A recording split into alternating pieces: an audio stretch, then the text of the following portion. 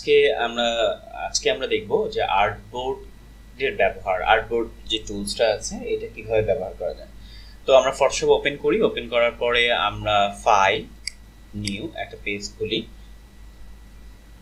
এবং সেখানে ওয়েবে যাই, যাওয়ার পরে আমি এখানে বারোশো আর লম্বায় দুই হাজার পিক্সেল দিলাম।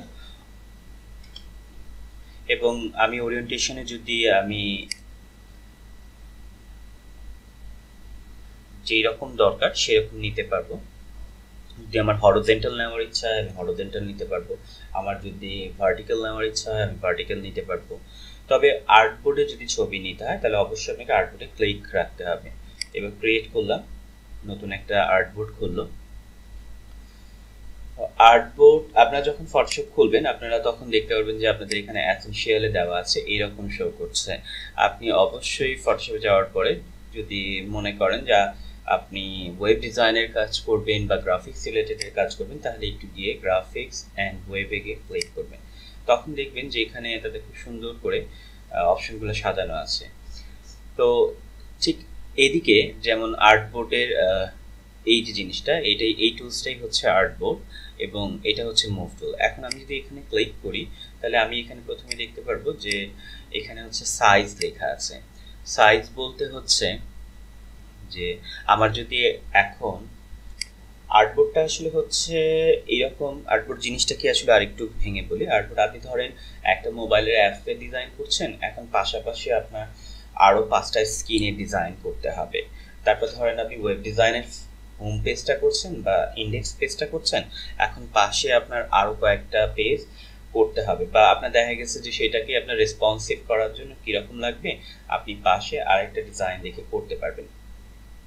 তো এখানে যখন আমি আর্টবোর্ডে ক্লিক করব, করার পরে আমি এখানে দেখব যে আর্টবোর্ড লেখা আছে। আমি এটাকে চাইলে এটাকে আমি ওয়েব ডিজাইন লিখে দিই রিনেম চেঞ্জ করতে পারব। সো এরপরে যেটা হচ্ছে, আমি চাইলে আমার যদি মন চায় যে এইরকমই এর পরে দ্বিতীয় পেজ হবে, তাহলে এখানে ক্লিক করলে প্লাস চিহ্নতে ক্লিক করলে এখানে আরেকটা অপশন চলে আসবে। এভাবে যতগুলো দরকার পেজ আপনি নিতে পারবেন। এবারে এটা চাইলে আমি এখন কেটে দিই ডিলিট করে দিই। এক মিনিট এরকম এখন আপনি যদি মনে করেন যে, এটার সাইজ হচ্ছে বারোশো পিক্সেল বাই দুই হাজার পিক্সেল আপনি চিন্তা করতেছেন যে, এখান থেকে আপনি এটাকে আইফোন ফাইভের ভিউতে আনতে চাচ্ছেন। তো আইফোন ফাইভের ক্লিক করলেই এখানে আইফোন ফাইভের ভিউ চলে আসবে। ছয়শো চল্লিশ পিক্সেল এগারোশো ছত্রিশ পিক্সেল তো এই ক্ষেত্রে আপনার দেখা গেছে এখানে সবগুলো সাইজ আপনি মেনশন করতে পারবেন। আমি আবার কাস্টমে চলে যাই, আমি বারোশোতে ক্লিক করি এবং এটা দুই হাজার দিয়ে দিই। এখানেও আমার এটা চেঞ্জ হয়ে যাবে। ওকে আপনি যদি মনে করেন যে আপনার ডিজাইন করতেছেন, এখানে ডিজাইন করতে করতে আপনার নিচে আর একটু জায়গা লাগবে, আপনার এটা সম্পূর্ণ হয় নাই, তাহলে আপনি এটাকে টেনে বড় করতে পারবেন। এখন এই ডিজাইনটা করার পরে আপনার মনে হচ্ছে যে এখানে আমি সেকেন্ড পেজে এটাকে আমি মোবাইলের ভিউতে করব বা আমি মিডিয়াম সাইজের স্ক্রিনে করব বা আমার যে কোনো সাইজ দরকার, সেটা হচ্ছে আমি স্মল সাইজে করব, তখন আপনার দেখা গেছে সেই সাইজে আটশো বারোশো আশি পিক্সেলে নিয়ে নেবে। আপনি যদি মনে করেন যে এখন পাশেরটা আমি এবার এটাকে ক্লিক করলাম, আবার দেখবেন এই, এখানে যখন আপনি ক্লিক করবেন, এইটা ক্লিক করার পরে আপনি দেখতে পারবেন যে এখানে প্লাস চিহ্ন এসছে মানে হচ্ছে আমি আরেকটা নিলে নিতে পারব। এইটাকে আমি আইফোন সিক্স প্লাসে দিই। আইফোন সিক্স প্লাসের সাইজ হচ্ছে এইটা। তো আইফোন ফাইভে দিই এটা ভিউ হচ্ছে এইরকম তো এখন যদি আপনি চিন্তা করেন যে এই আইফোন ফাইভ এর যে ভিউটা আছে, এটা আছে আমার এভাবে সোজা আছে, আমি চাচ্ছি এটাকে ভার্টিক্যাল করে নিতে, তাহলে আমি এখানে এই পাশেটা ক্লিক করলেই এটা চেঞ্জ হয়ে যাবে। এটা হরোজেন্টাল এটা ভার্টিক্যাল তো এখান দিয়ে আপনি আপনার ভিউয়ের লুকটা দেখতে পারবেন। তদ্রুপ তারপর হচ্ছে এইখানে এই জিনিসগুলা।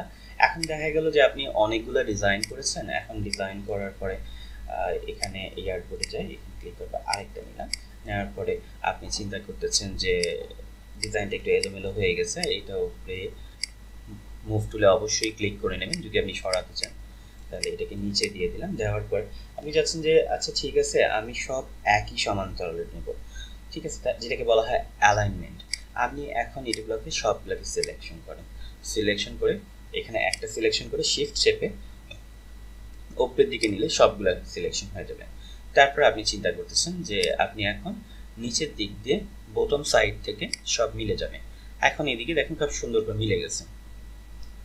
আর্টবোর্ড আসলে খুব প্রয়োজন জিনিস যদি দেখা যায় যে আপনি একটা ওয়েবসাইটে ডিজাইন করছেন, এখন অনেকগুলো ভিউ লাগবে। রেসপন্সিভ করার জন্য যে ডেভেলপার আছে তাকে আপনি দিতে যাচ্ছেন, সে হয়তো বা বুঝতে পারছেন যে আসলে ভিউটা কীরকম আসবে। তো আপনি বিভিন্ন সাইডে বিভিন্ন ডিজাইন করে রাখতে পারেন।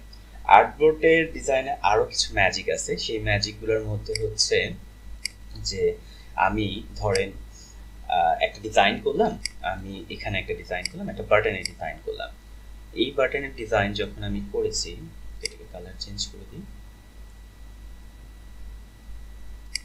ওকে এই বাটনের ডিজাইন যখন আমি করেছি, এখানে এক একটা নাম দিয়ে দিলাম ধোকা যে আপনার, যেই ভিউটা দরকার আছে, এখানে সেই ভিউয়ের নাম দিয়ে দিলাম। এখন আমি যেটা করব, সেটা হচ্ছে আমি এই বাটনটাকে রিনেম করলাম। ধরেন এটা বাটনে লিখলাম বিডিএন হুম।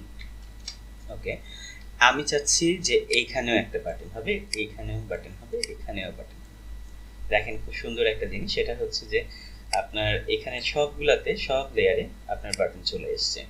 তাদের প্রতিটা অংশে চলে এসছে, আপনাকে গুছাতেও হয় না তো এটা একটা মজার জিনিস যে আপনি একটাতে করলেই আপনি সবগুলাতে আপনি সহজে নিতে পারবেন। এরপরে আর কি আছে?